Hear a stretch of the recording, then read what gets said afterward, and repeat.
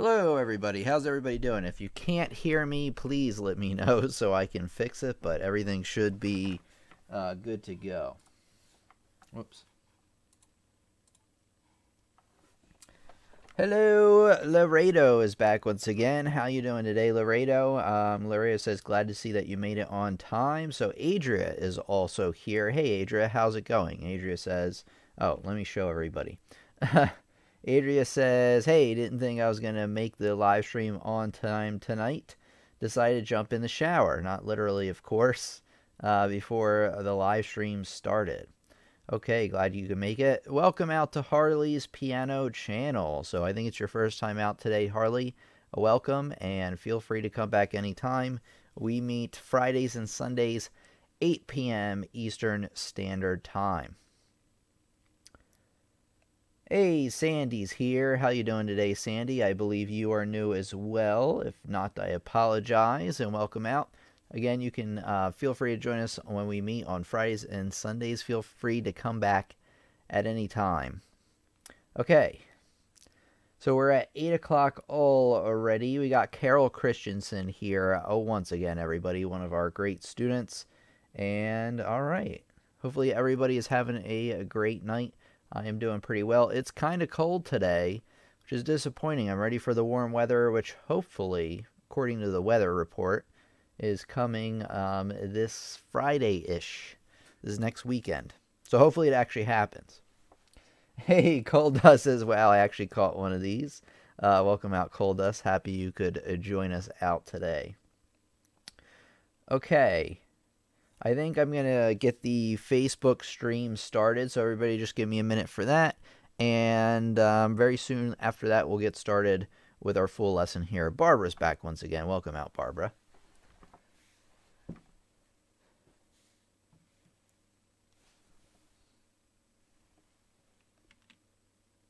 Okay, let me just kind of go through all the stuff I have lined up.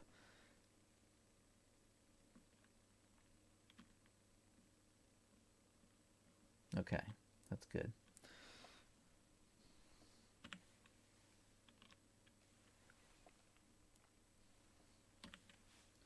There we go. Okay. Hey, Tanny's back again. How you doing, Tanny?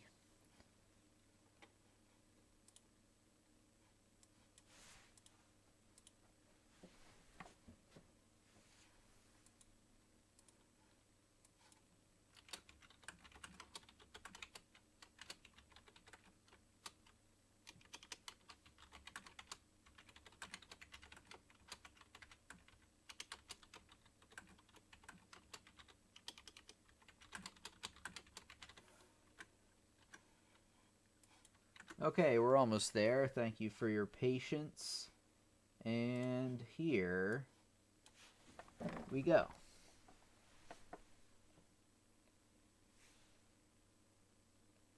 There we go. Hello, students. Welcome out to our live stream. If it's your first time out, if you're on YouTube, please subscribe. If you're on Facebook, like our page because we got new lessons coming out every Friday and Sunday live at 8 p.m. Eastern Standard Time. So let's just get right on to what we have going on today. Okay, and I want you to share this lesson because the more students we have in attendance, the better of a discussion we're going to have, the better of a lesson, and the, the more we will all learn. So share us on your favorite social media right now, and it will be a big, big help. Okay. Okay, students, today I'm going to give you some helpful tips on playing and reading notes with both hands at the same time. And the first tip I have for you is spend ample time mastering each clef separately. If you're new to reading music, it is a mistake to begin reading notes uh, with both clefs right away. Of course, unless you're some kind of prodigy, which most of us are not. I know I am not. I have a lot of students come to me and say, I'm really having a lot of trouble you know, reading with both hands together. I really, um, you know, I'm getting confused between the notes. And they've only been learning piano for a couple of weeks. And it really takes time, really, for it's really easy to understand how to read music, at least in my opinion, and, and, you might struggle with it more than I do. But where a lot of students I find go wrong, even if they're really good at reading music, is if they start learning the treble clef and practicing the treble clef and bass clef at the same time right away, they'll start to confuse the lines and spaces between each clef and start to mix them up in their head. So what I recommend you do is master that treble clef master that bass clef separately first to where you can identify any line or space on each and then start to put them together. It doesn't make much sense to do that right away. All right, let's get on to the next tip I have for you. Which is read notes from the bottom to the top and you always want to do do it like this. You always want to have that as a consistency. Now why am i making you do this or why am i telling you about this? Well this is for the simple fact that this will help alleviate confusion because what happens to a lot of students is they will try to read notes um, and it's like their methodology is all over the place. So let me get my pen out here with us Okay, hopefully it'll let me do it. No, of course not. Why not? It always lets me do it. All right, give me a second and then I'll have it ready. I just got to open it up with a different program. Okay, here we go. This will let me do it.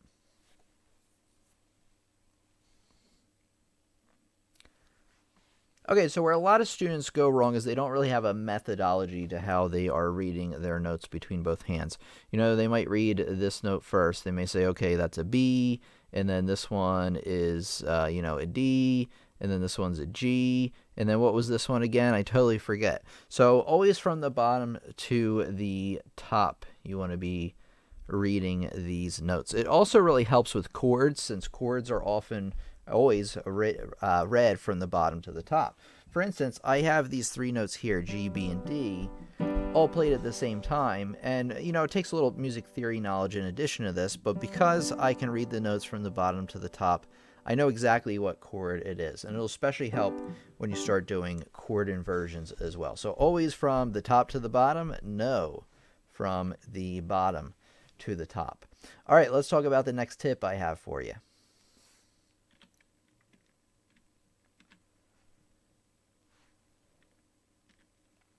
Which is read notes in columns. This will help you group notes together rhythmically.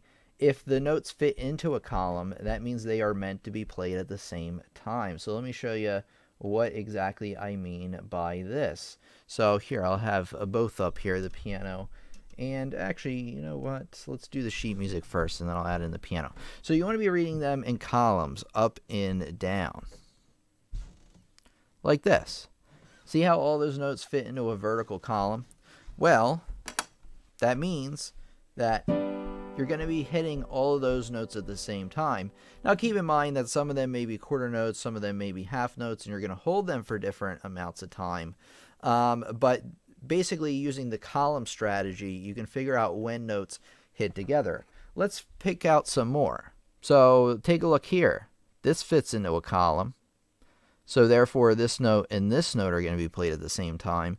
This is going to fit into a column. You know, they're going to be played at the same time. And then you can, uh, after the columns, you can kind of piece out where the notes fit that aren't a part of that and kind of space them out appropriately.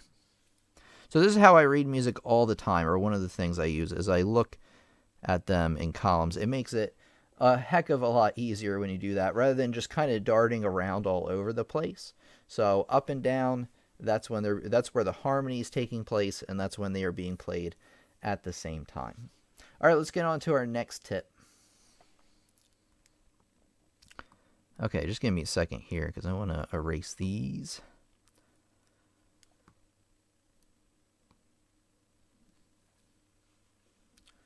Okay.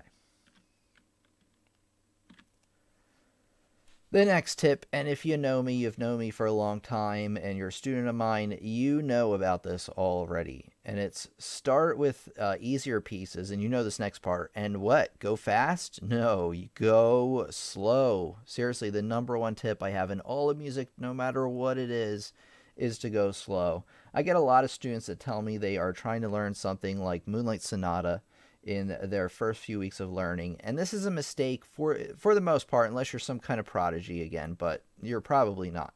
And will probably lead to more it will lead to more frustration than anything. Wait, hold on. there you go. It'll lead to more frustration uh, than anything. So if you are trying to read something way above your level and you're just starting out, you don't even really know the basic concepts yet. Um, or like I said, there's a difference in music between under no, learning something and fully understanding it, knowing it like the back of your hand. Almost everything in music you want to know uh, like you don't even have to think about it. Like what key has five sharps? So that's the key of B. The five sharps it has F, C, G, D, and A. So that's just an example. You know, you want to be able to pull this music knowledge. You know, uh, what major chord um, has all three sharps, and that's F sharp major.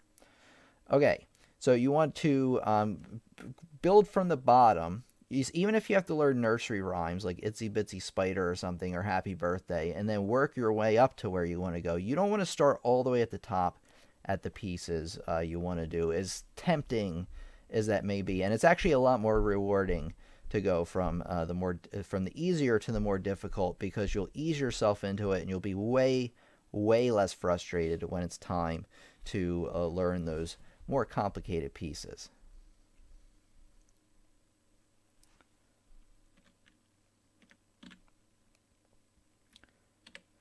Okay, another tip I have for you is to use intervals. And we've talked about this before in other lessons. And uh, when I post this, um, you know, the edited version, I will make sure to post a link to the lesson.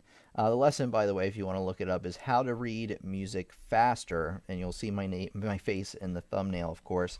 And this lesson is all about how to use intervals to read notes lightning fast. Let me just kind of walk you through it a little bit in case you're new at this. Okay, so an interval is the distance between two notes. So like say from here to here, those bottom two notes. And I know right away, because I know my intervals, that that is a third. Here you go, I'll show you on the piano actually. That this is a third, that they're three notes apart. So anytime you have notes stacked, like see how all three of those left-hand notes are um, are space, space, space, and they're evenly spaced. Well, this is always some kind of chord, and um, knowing your chords is really helpful. But this also means, sorry, that's the notes I should have been playing. That also means that the notes are stacked into thirds, and that just makes it a lot easier to figure out what they are, rather than reading each individual note. Like, okay, that first one's a G. Okay, that second one's a B. Uh, that one's a D. Top one's a D. Of course, I'm reading from what? The bottom to the top? Yes, bottom to the top. Um, but that takes a long time, and you might even kind of lose track of where you are. But if I say, okay, all three of these notes right away on the bottom are stacked thirds, uh, let me get you back to where the, you can see the bass clef. They're stacked thirds. Uh, you have this note up here. There's another interval from here to here. And because I know my intervals, I know right away that that's a fifth. So it really helps you give your brain a lot more information to go on to be able to read these notes um, rather than just trying to read everything uh, separately, which just takes a lot more time.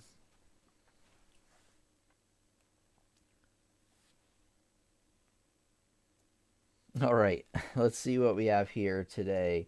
Um, okay, so everybody in the chat, I am now going to open up the floor to questions. It was a bit shorter of a lesson today. I knew it wasn't going to take too long to get through because uh, I wanted to be nice and concise with our tips today. So let me know any tips that you have. And there we go. I'm kind of getting myself better in the frame here. There you go. Yeah. Yeah, it was kind of alright before. Okay, any questions about reading notes with both hands at the same time? Uh, Carol Christensen comments, uh, one of Tim's best lessons is the one on intervals. However, all of his lessons are good too. I love his tips and learning. Thank you so much, Carol. I appreciate that. Let me show you real quick where, um, because I'm not going to post the link in there right now because that would take too much time right now. So what I'm going to show you is how to find this lesson and what it looks like. Uh, actually, I want to do this. Okay. So you go on the good old YouTube and just type uh, how to read music faster. And it should be the first one that pops up in my case anyway. Actually, you know, it should be the first one that pops up uh, for you as well. So there I am. And that's the lesson you want to check out. It's all about reading notes and intervals. And trust me, when this can make you a lot better at reading music.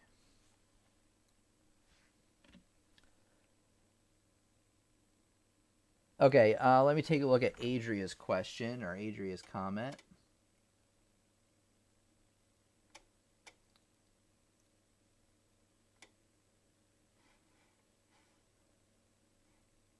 Okay, uh, Adria says, I think I have the same issue, even though I can read them both separately, of course. But when I put them together, it all turns into mush, and it feels like there is no treble and bass clef. So, uh, of course, you can take some of my other tips uh, to mind with this one. You know, slow it down. Um, you know, use your intervals. Uh, work your way from easier pieces to more difficult ones. It seriously takes time. It took me uh, quite a long time to really feel comfortable playing hands together. Maybe 10 years, but you have to keep in mind that I started learning when I was six, so I was like a little kid at first. Um, so as you progress through your teenage years into early adulthoods, your uh, your early adulthoods, your dexterity and your um, ability to play gets a bit better. Unfortunately, I'm not a prodigy, says Carol. Do not worry, Carol, and neither am I. Lorena says, I envy all of you since we are headed for a chilly winter season here in South Africa. Oh, that's right. So we're headed towards uh, warm weather, and you're headed towards unfortunately cold weather. Okay, any tips on uh, on recommended great books for beginners? Yeah, I do. Actually, I need to make a new lesson on this. I made a lesson a while ago on it, and it kind of flew under the radar. It probably needed a better title and thumbnail, but um, all right, let me show you what I recommend. So if you are an adult, and actually I would consider an adult learner, it depends where you're at, but um, I have some students that are 10 years old that can handle the adult book, the adult book level one of Alfred. Uh, let me show you what I'm talking about here. So uh, on Amazon or really anywhere, I also have a link in my description that says recommended keyboards and books. You can find all this in there, and actually, if you buy it from that link, it will help out the channel since it's a, uh, an affiliate link. So Alfred Adult Level 1. But I feel like most students that are 14 years and older can handle uh, this book. So even if you're not technically an adult, it's okay. Uh, so we got uh, that one. I would start with level 1. I would just go through level 1, 2, and 3. Level 2, which I don't know if I have here. Oh, I typed in level 1 into the box. So level 2 will probably not appear. So level 2 is like a green book. So it's right here. And then level three is a blue book. These are really good if you're just starting out because they really walk you through um, the songs in a chronological order, I guess. Kind of makes sense in this case. But anyway, an order that makes sense if you're just starting out and you want to learn the pieces in order. So you make sure that you're increasing the difficulty between the pieces in the correct way. So those are the three I recommend you start with. There are, of course, many others, but I'm a really a big fan on those three. I use those in my personal teaching uh, when I teach students around in my local area and online, of course. Okay, let's take a look at what we have going on before or next. Oh, Real Windsor fans can't stay today. Uh, sorry about that, Real Windsor fan, but thanks for stopping in. I appreciate it. Nathan says, Hello, team. Hello, Nathan. How are you doing today?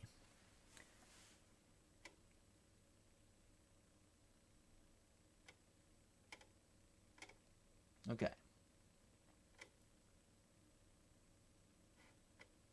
Clair de Lune and Bella's Lullaby, when I started playing the keyboard at the beginning of February 2017, were my two easiest pieces uh, to some degree to learn by ear. I just lack coordination. So, you know, that's very common. So, students really fall usually into one or two categories. One, Sorry about that. I had to look at something. Uh, one is that they are really good with their ears, but not as good with coordination or maybe their theory skills. And the other, they're really good with theory and, um, you know, theory coordination. They're actually separate things. But every student has strengths and weaknesses. Uh, what I recommend you start doing for basic coordination skills is learning your scales because even though you're playing the well, it'll actually help you sync up your hands. So what you want to do when you're first starting to learn how to play hands together is you want to look for things where you're playing the same note with uh, the same hand like an octave apart. And scales are perfect for this. And what this helps you do is instead of you know playing something that requires uh, independence between both hands like that, you're really playing the same thing between both hands. So it really is it develops very basic coordination getting your hands to play at the same time. You want to master that first and then move on uh, to other things from there.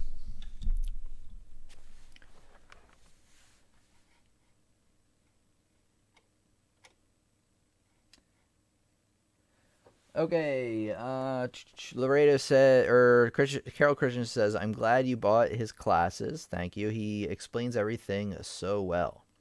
Edson says, when you're reading both clefs, where do you keep your eyes? Great question. Between the two clefs, or do you focus more in the difficult parts? That's an interesting question. I'm going to actually have to think about that. Actually, let me get everybody back up here so you can see what I'm doing. Um, Fuddy Duddy was not notified. I did send out the email. I'm sorry about that, Fuddy Duddy. Take a look in your junk folder. Some of the automatic emails I've been sending out have not been uh, getting their place. I think I have it figured out, but the email I sent should have done it. Um, so definitely let me know next time if you don't get uh, notified twice in a row. Uh, but I apologize for that. Uh, let's take a look. Um, I'm going to get back to this question here. Edson says, uh, when you're, okay, where do I keep my eyes? Between the two clefs, let me, you know what, let me kind of like read through something. Because, you know, after a while, when you learn music, things start to happen automatically, believe it or not. It takes a long time to get there. But eventually it happens. So,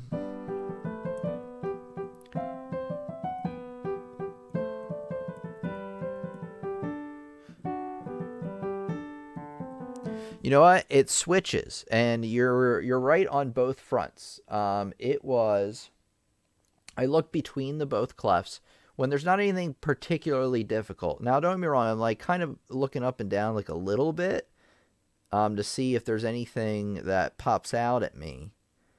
Um, but when I got to a more difficult section or a section that I was more likely to mess up on, I concentrated on the hand or the clef that was most likely to give me the problem. And that's something that's going to take a lot of practice uh, before you learn. And like I said, over time, it becomes automatic. So generally, I'm looking um, between both clefs. I mean, not literally like exactly between them, but I'm kind of looking like to where I can see both of them at the same time. I don't know if that makes any sense. I hope it does. Um, but you know what I'm you know what I mean. I'm just not focusing on one or the other. But when I have a problem area, then I focus in. Hello, Gregory is back again. All right, and did anybody else not get notified? I'm kind of curious about that. And are you signed up for the email list? That's another question because uh, YouTube does not always do a great job of letting people know when we are meeting. So what I want you to do, if anybody here hasn't done this already, is go to pianolessonsontheweb.com and what you want to do after that is you want to go to the community page. It's right there at the top. You click on it and fill out this little box here. And then you will get an email update, at least you should, 30 minutes before we go live. All right, let me type that into the chat really quick or the link to it. So just give me a second and, and uh, keep the questions rolling. They're good so far.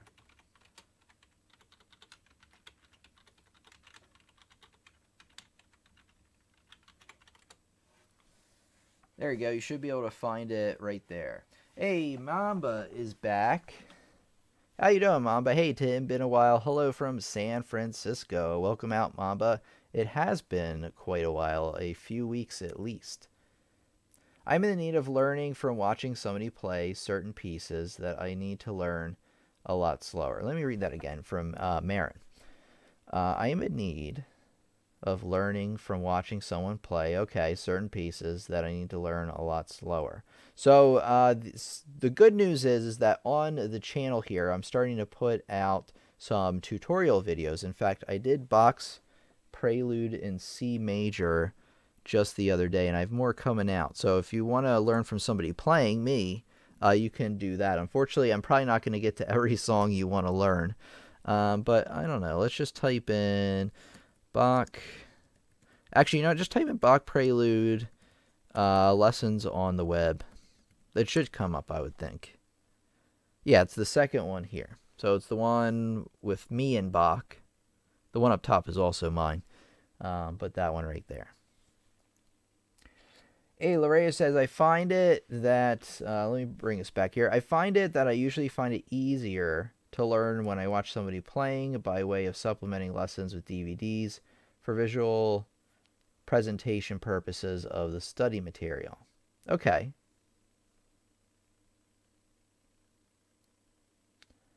Yeah, so the courses on my website, a lot of the um, the practice examples I give you in the songs to play, I do play along with those.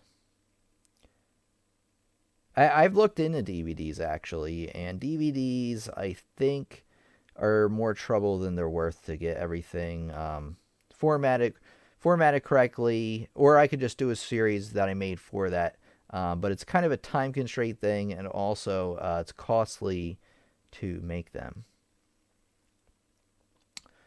Marin says, now all I have to do is focus. Uh, focus now is cool. Okay. Now all I have to do is focus. Okay, now is cool. And have I have to master is just coordination. Okay. And that takes time. That's not, and you're not alone. That is true. Uh, did that when I was, had 16 videos. Okay. My Wisconsin Youth Orchestra videos. Once I logged off, it was all fine. You say to read notes from the bottom to the top, so isn't your eyes should be moving as you are reading? Um, at first you are, uh, but like I said, I know how to read music so well that I kind of like, I don't know, I kind of take it all in at once.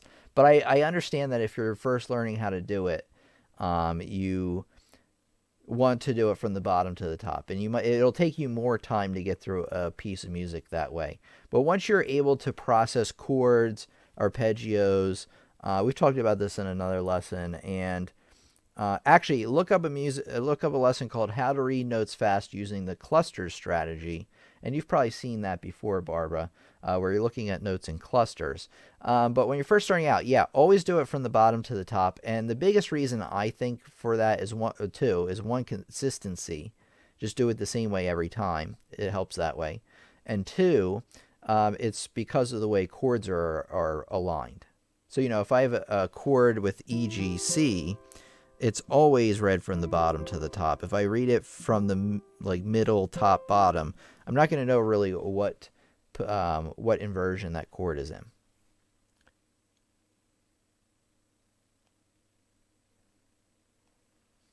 Okay, uh, let's see. Rashad says, I'm a senior in high school and play trombone. I played trombone when I was a senior in high school. And welcome out, by the way, Rashad. You're welcome back anytime. I also want to be a musician. Uh, okay, audio engineer and composer. I started on piano. It's the small things like hand-eye coordination, playing the right chords. Yeah, so this is just something um, that you're going to have to work through over time. Hand-eye coordination is like one of the first things that you develop uh, when playing piano. Again, uh, if you haven't started already, Rashad, look up about playing scales. In fact, again, I'm going to point everybody to a lesson if you're interested on um, playing scales. You just type in learn all 12 major scales lessons on the web. And there it is. Mine's the first one. So check that out. That'll get you started playing your major scales. You want to learn those first uh, because that will help you develop the basic coordination. With two hand, John asks, with two-handed scale practice, Try playing a different scale in each hand for a variety. That's true, John. So uh, what John means by that is I can play, you know, uh, C major down here and G major up here.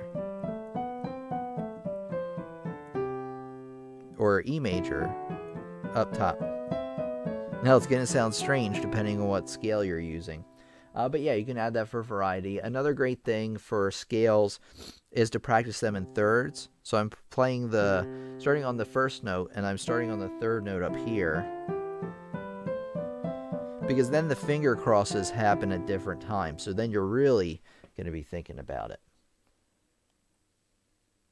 Uh, okay, Laredo says, how do I easily figure out on uh, which octave I am supposed to be playing? Okay. Let's take a look here.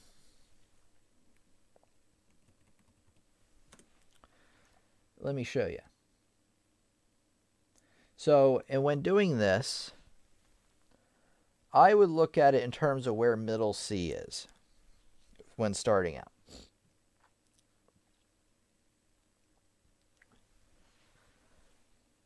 Let's get this in line. Okay. So here we go. So middle C with treble clef is right there.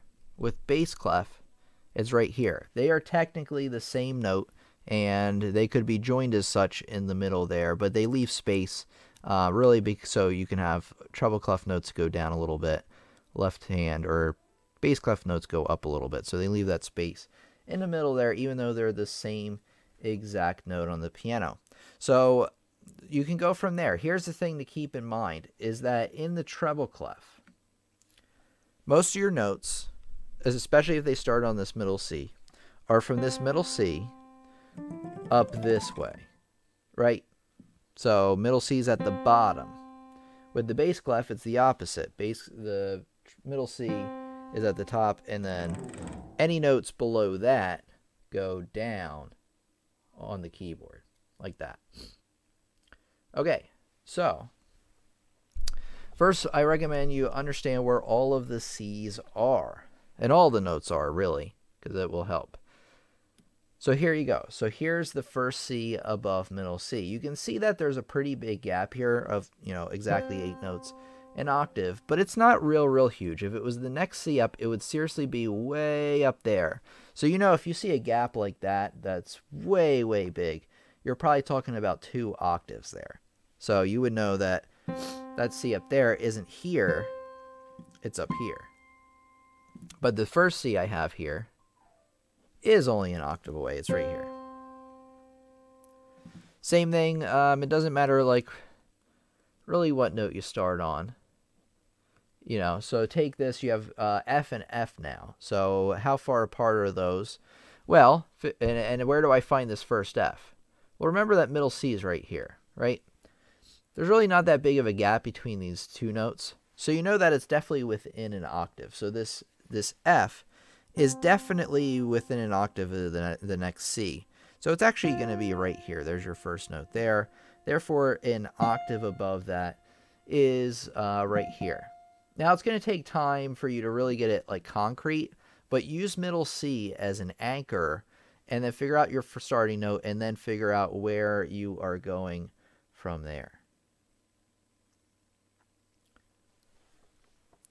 Okay. And then same thing with the bass clef. So say I have the bass clef now. And, you know, I have the C right here. Well, they're far apart, but they're not as far apart as this. You know, that's really far apart. So that's two octaves. That C would be, you know, not this mm. one, but down there but the other C would be there. So it's the same thing, just keep in mind that with the bass clef, that middle C will be on the top instead. Okay, Linda Reed says, Welcome. It's a great classroom. Thank you very much, Linda, and welcome back out. Okay, Daniel says, Good morning, everybody. Daniel from Barcelona. This is my first time commenting, but my third time here. Thank you. All right, very, very good, Daniel. Welcome out. You're welcome to come back anytime, of course, and thank you for chiming in. Uh, Tim, do you suggest reading a piece entirely before starting to play it on the piano or not? Um, no, you don't need to do that.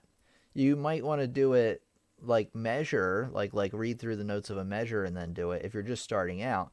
Uh, but the way I do it is I read as I'm playing, but it, it takes time to get there. But certainly you don't want to read a whole piece uh, first and then start to play it. I would actually read the notes, like say, okay, this note's an E, and then actually play it on the piano. Okay, this note's an A, and then play it in the piano. Because what that'll help you do is that will help you uh, not only identify what letter the note is, but start syncing that up in your mind with where it should be on the piano.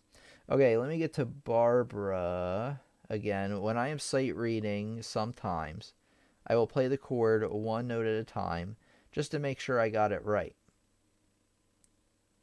I mean, it's like sounding out a word. So uh, you mean like C, E, G, things like that. So that's fine. Yeah, so if you're just starting out learning your chords and you don't have them like all in your head right away, you will have to read the notes individually, but you can still use the stack thirds technique to uh, or the intervals technique to say, okay, all these notes are a third away from each other. So therefore, on the piano, I know that it's going to be spaced out like this somehow, where you're skipping over every other note. Of course, there may be sharps or flats in there that'll make it a little bit more difficult. All right, so hopefully, let's see what else we got here. And if you like tonight's lesson, by the way, and you want to leave me a super chat, it's right below the chat there. It would be very much appreciated, and of course, helps keep the channel going. I'll answer a few more questions here, and then I, I want to tell you about something else. Okay, John says with two-handed scale. Okay, I think I got the I got to most of them. I easily figure out on what octave I got to that. Okay, it looks like I got to mostly everybody if I missed your comment up above, or you want me to, you know, you're confused by my answer, uh, let me know. And I'll be happy to help you. All right, so while more comments and questions are coming in,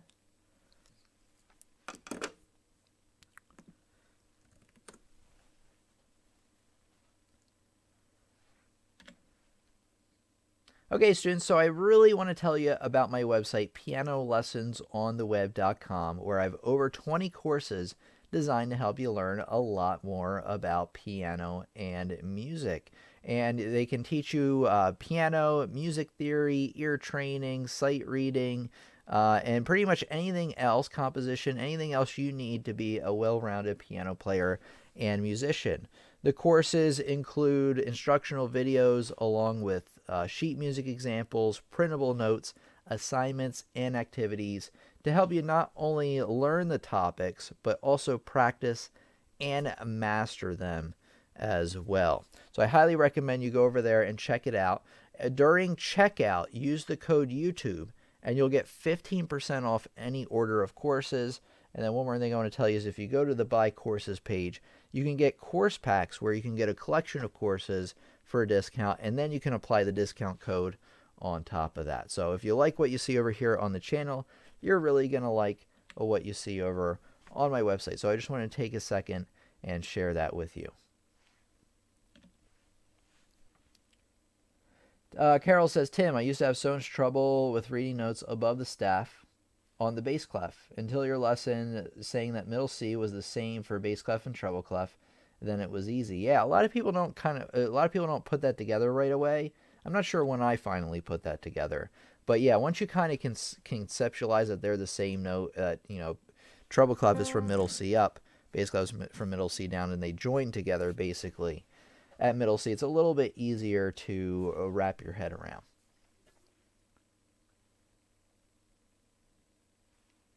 All right, any other questions or comments? Did I miss anybody? And again, you want to subscribe. It's your first time out. Rashad says, I've gotten comfortable with bass clef on trombone. That makes a lot of sense. Uh, but piano has both clefs, so I uh, work on treble. I know it, uh, I know it, but I don't use it often because I don't need it. I'm still watching YouTube on theory. Yeah, exactly. So you want to definitely spend your time practicing just the treble clef notes. And what I would do is I would sit down at the piano each day and practice reading some notes and finding them on the keyboard. If you're just starting out, um, something good, uh, if you don't know about this already, is a site called musictheory.net where it has not only like like really simplistic lessons, but my favorite is the exercises because it helps you practice a lot of the things you need to know um, to be good at music, like note identification, uh, interval identification, which we just talked about, scale identification, and chord. So if you do all these, like in the first practice thing, uh, these first five here, then that will really help your note reading. But of course, you want to start uh, with the simple note reading, and you can click um, where my picture is. There's like a little wheel. You click it, and then you can set, you know, where your notes are and everything else. So I recommend you practice that each day. Not only read the note on the staff, but find it on the keyboard as well.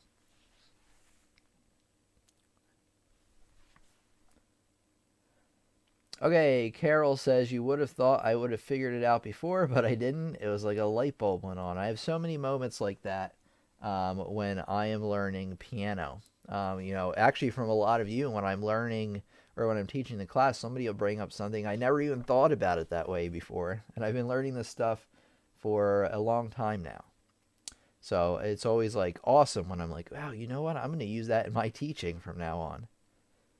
Lorena says, My biggest confusion stems from figuring out notes that are three octaves away from middle C. Okay.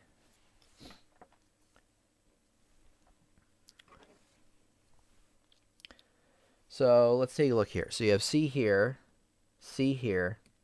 Now here's the thing to keep in mind. Here's the C that's two octaves above middle C. Now, if you had five, six, seven, eight, the next C up, it would be way up there, right? Well, the thing is, is that you're almost never, ever going to see a C written all the way up there in most cases. In which case, you'll just have to kind of read this one and then use, uh, you know, your interval strategy to read up an octave. That you can do that as well. Um, but most of the time, you're not going to see one written up there. What you're going to see most of the time is the the C that I have written here. That's the highest. That's two octaves above, and anything above that, you're to find this. Let's see where it is. an 8 VA symbol. And what this means is you're automatically going to play this note one octave higher than where it's written. So you're not going to see one way, way up there. At least I've seen very few written up that high. They almost always have 8 VA. And say uh, they wanted to make it two octaves higher, it would say 15 MA. All right, everybody give me a second. I need to blow my nose real quick.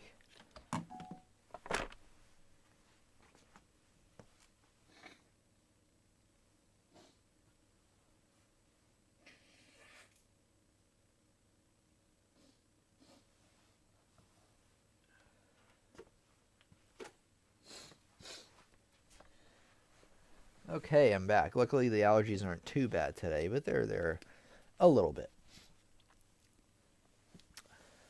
Same thing, Laredo on the bottom. So when you have a note, so there's one octave below middle C right here.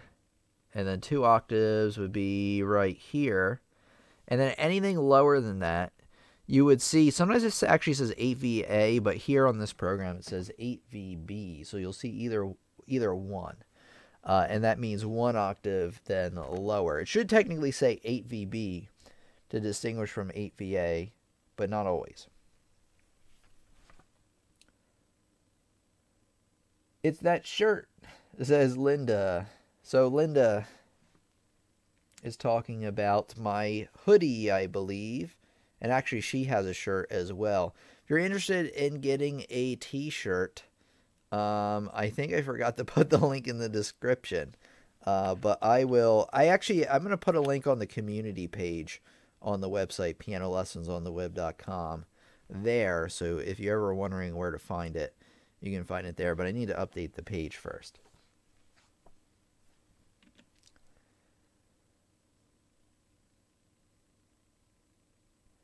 Laredo says, Thank you, Tim. I'm getting more and more enlightened. You're very welcome. Thank you very much, Laredo. I appreciate that.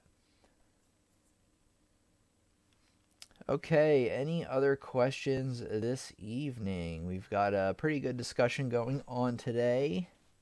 I had fun. I think you did as well. Uh, let me, before we adjourn for this evening, we might go on for a while yet. Uh, we'll see what happens with the questions. All right, I want to show you. So, again, back to my website. And if you go back to the community page, I mentioned this earlier.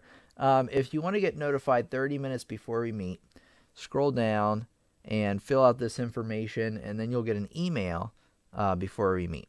Okay, so the next few weeks, I'll go over what we're talking about and when. So, Friday, April 13th. Uh oh, it's Friday the 13th. How to write and record a backing track. So, backing tracks are really good if you're either trying to put together a whole song, like you're trying to record, you know, a drum part and then a piano part or something like that. But it's also very good in and actually, actually, you can use this to just record yourself. But it's very good if you're like playing a um, B flat blues or something like that, and you want to just concentrate on one part rather than doing the chords and everything at the same time. Um, so you, th- that will definitely help with that. And then that Sunday after that, we're going to talk about how to play Für Elise. It's going to be a tutorial, a follow along tutorial, as I've been doing, that are in the same style as the ones I've been putting out recently. Uh, then it's the beginner's guide to using the pedal on piano. So uh, the following week, so we'll be we'll see if we're truly cursed with that lesson because something always comes up and I always have to reschedule that one. Okay, Angie says it was a good lesson. Thanks, Tim. Thank you very much, Angie. I appreciate that. Thanks for coming out. And anybody, if it's your first time or you are a returning student, you're always welcome back again. Thank you all so much for coming. Oh, uh, Linda was saying my allergy. Yeah. You know what? I washed the shirt and it's a lot better. So I don't know whether it was a fluke that day that it was just really bad down here in terms of allergies or it was that shirt. But after I washed it, um, it, se- it seemed better. I don't know. like I said, I know what was causing it. I did think it was that shirt. Typical. Oh, wait. Um, Sandy says, and practicing the sight reading half an hour every day. That's great. But not much result. Okay and I don't know if I should practice more or just keep half an hour. So, Sandy, how long have you been practicing the sight reading? Because it can take, uh, if you're brand new to sight reading, it can honestly take um, a couple of months. Within a couple of months, within two months, you should notice a considerable difference. If you're just starting out, maybe you've been doing it for a week or so, maybe two weeks, maybe even three weeks you might not notice that much of a difference. And you want to make sure that you're sight reading things that are easy, but not so easy that to where you don't need to think about it at all. You know, you just play it easy. Like, uh, say you're used to playing Für Elise, and then you're sight reading something like Jingle Bells. Like that. That might be a little too easy. So, uh, what I recommend is okay, um, almost a month um, so you should start to reg- uh, you should start to see some results soon. I would keep at it though, and what you might want to do.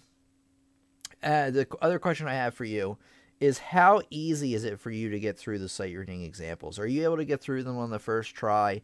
No mistakes, no real thought.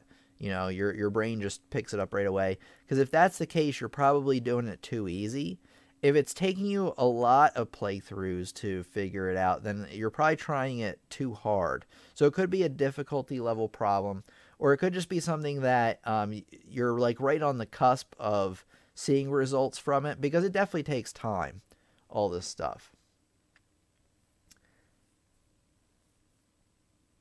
Okay, Loretta says typically, typical, how many scales should one practice on a daily basis?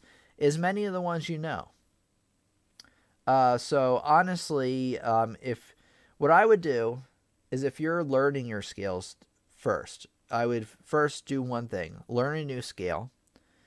Um, you can learn a scale once a day, maybe even once a week, depending on how fast you can pick them up. But I would be learning something new, and then I would also be practicing through all of the scales that you know up to that point And if you, for some reason, you have a time constraint that day, you don't have as long to practice, you can shorten that a little bit. But for instance, I know all of my major and minor scales and things like that. So it may seem daunting. You're like, well, there's a lot of them, aren't there? That is true. But I know them so well. I mean, I'm not playing the whole thing just to kind of illustrate a point.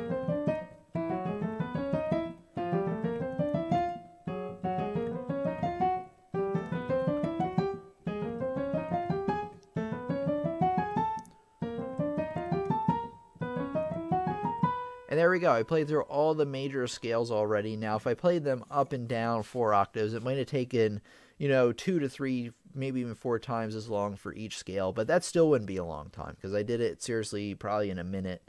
Um, so four times longer than that would be like four minutes.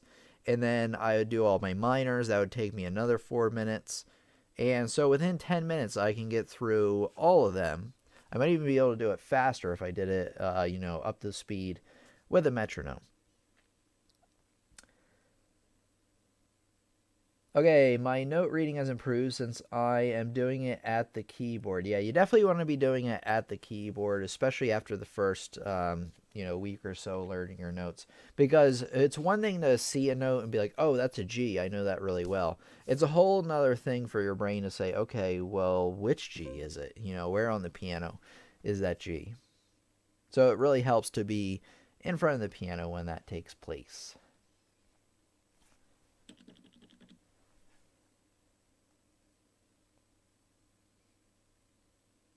Oh, Carol Christensen with the $2 super chat. I almost missed it, actually. Thank you so much, Carol. I really, really appreciate that. And um, all the other super chats you give. Of course, you never have to give a super chat, but I always appreciate it very much. Okay, I'm trying to think of anything I need to talk about before we go. You know, we're in the last uh, few minutes here. Hmm. Oh yeah, I need to record like an outro kind of thing. Uh, so let me do that.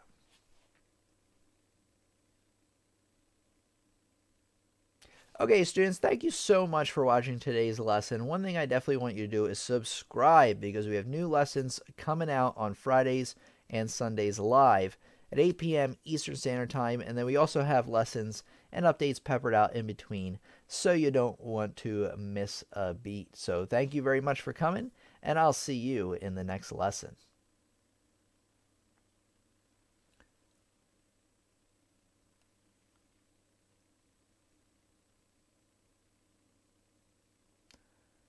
Okay, I'm still here. I was just doing that so when I piece the video together, it makes sense.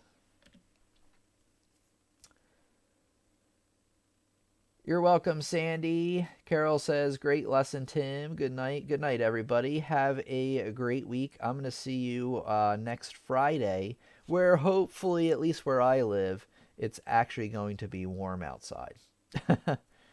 I can't wait because I do this thing in a basement. And actually, you know what? It is a hundred times better down here than it was back in February and January this year. It was bitter cold there was um there was like a negative five degrees outside one night we had and i think i had the live stream that night and it was insanely cold down here uh even though like you know there's no real heater down here all the heat goes upstairs we'll be fixing that soon Great lesson as always. Love the thumbnail uh, from your learning piano as an adult video. Thank you very much. I've been spending a lot more time on the thumbnails and getting them um, better. And I thought that one just kind of fit together real perfectly. Okay, good night, Angie. Good night, everybody. Uh, thank you for coming out. Um, take a look at my courses if you haven't already. And um, yeah, have a great one. Great talking to you. Thank you for being a part of something that means so much to me. And remember, this channel is all about learning, mastering, and sharing piano. So we learn piano, we uh, master it by practicing, and then we share that gift with others, whether it's through our insights, through teaching others, or just by good old fashioned playing. So, thanks everybody, and have a great night.